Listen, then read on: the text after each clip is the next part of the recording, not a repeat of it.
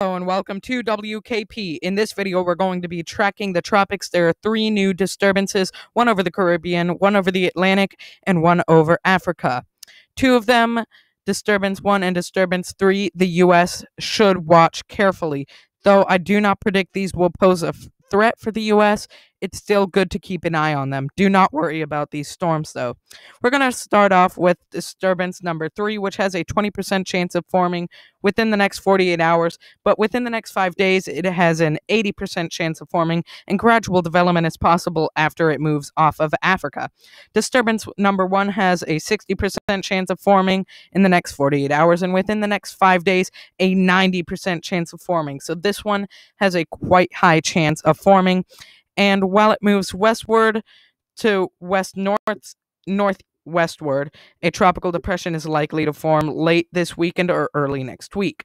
Now we have our biggest one we all need to worry about. Disturbance number two, with a 10% chance of forming. No, we don't need to worry about this. This storm will likely die off the, within the next couple of days. Now let's take a look at the CMC model.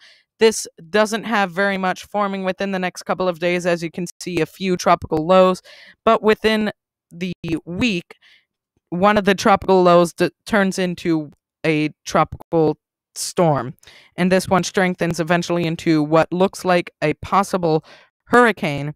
And as we go on out through the week, two new tropical disturbances. One of them, this one right here, I'm waving the mouse over, the GFS predicted to get very close to the U.S. coast as a hurricane.